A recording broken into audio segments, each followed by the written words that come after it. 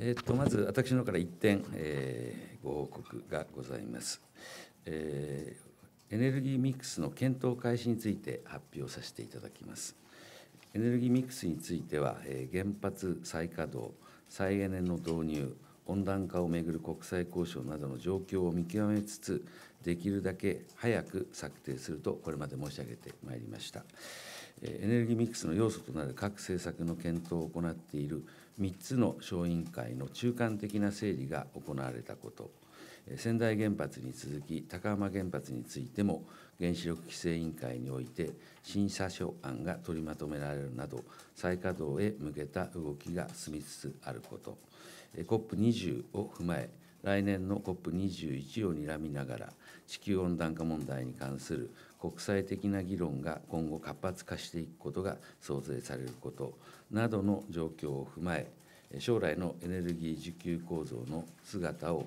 検討するため、総合資源エネルギー調査会基本政策分科会のもとに、小委員会を求め、議論を開始することといたしました。小委員会には、基本政策分科会の会長である小松製作所の坂根相談役のほか、小委員会等の座長、学識者、産業界や消費者の代表など、有識者の方々に幅広く参加いただき、しっかりと検討を進めていきます。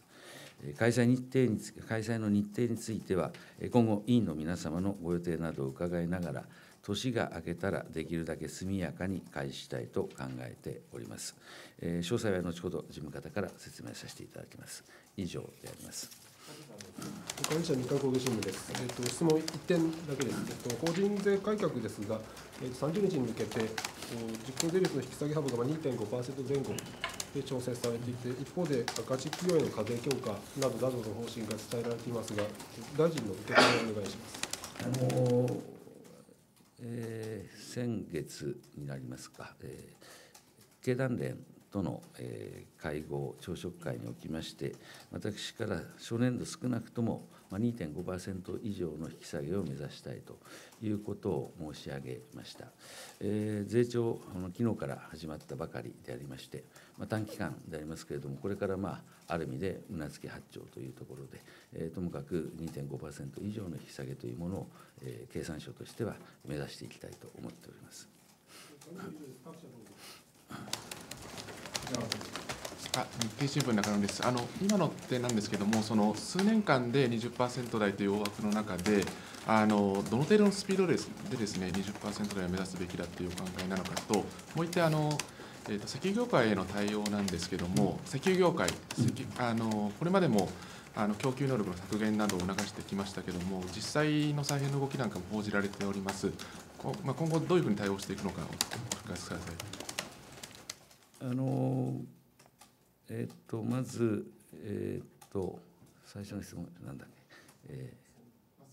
ー、あ数年間ねあのまあ正直今年の幅もまだ決まってないわけでありまして、えー、その先まで申し上げるような、まあ、状況ではないわけですけれども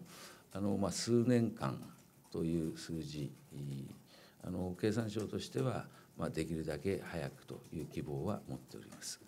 え、それから、えー、石油関係でありますけれども、まずあの出光小石シェルについて、ま、いろいろ報道がされていることは承知しております承知しておりますけれども、まあ、両者において、ま、具体的に何が決まったというものではないと発表されていると承知をしております。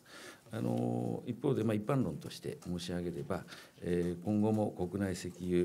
需要源が、まあ、続く厳しい経営環境にあるということは事実でありましてさまざまな形での事業再編が必要になるものと考えておりますあの政府としては経営者の方々の判断や取り組みが円滑に進むよう必要な環境整備を行うことが重要と考えております。あの具体的にはあの2点ございまして、1つはエネルギー供給構造高度化法の、えー、に基づいて届け出がございますけれども、その届け出に基づき、状況を定期的にフォローアップしていくということと、えー、もう1点、予算面であの支援を行うということなどを考えております。杉原社長の次でと申します。あの最初に言ったあのエネルギーミックスとの関係あるんですが、あのこの24日のあの原子力小委員会、審議会、ここで中間整理案が出ましたけれども、ここではですね、あのいわゆる心臓説とか建て替え、リプレース、そういったことに含みを持たせて、えまあの委員の方にそういうあの心臓説必要だったかを見て、そういう、まあ、一応まとめになっています。まあ、第3次内閣が出発しましたので、改めてなんですが、心臓説、あるいはインフルエンザについて、大臣としては今、どのようなお考えか。あのこれはあのこれまであの申し上げた通りでありまして、えー現時点で心臓説、またリプレースといったえーことについては想定をしておりません。おりません。あじゃあ最後そこ一家がいつまでに決めたいというふうにお考えになっているかと、どういった点を重視して、えー決められるというふうにお考えですか？あのでにというのはできるだけ早くということでありまして、あのまだいつまでということを申し上げられる状況ではありません。あのどういった点というのも、まあこれから検討していく段階でございますので、私からあの、えー委員の方等々の議論を先取りするわけにはまいりませんけれども、やはり一つはその、えーエネルギー各電源ごとのコスト計算というものをやはりしっかりやっていかなければいけないと。そういう中であの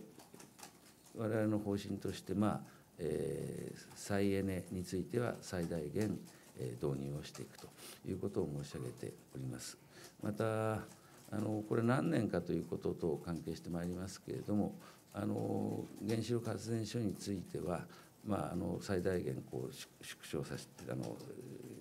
低減させていくと、えー最大限じゃ低減をさせていくという方向が決まっておりますが一方で、まあえー足元で見ますと安全が第一でありますけれども安全が確認され安全、えー規制委員会のまあ厳しい基準をまあ合格したえー原子炉についてはまあ再稼働を進めていくというようなところ等々まあいろいろ総合的に判断していくんだろうというふうに思います。すみません、終わります。ありがとうございました。